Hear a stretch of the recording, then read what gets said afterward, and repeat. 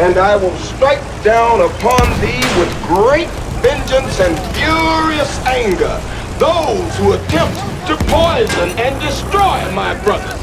And you will know my name is the Lord when I lay my vengeance upon thee.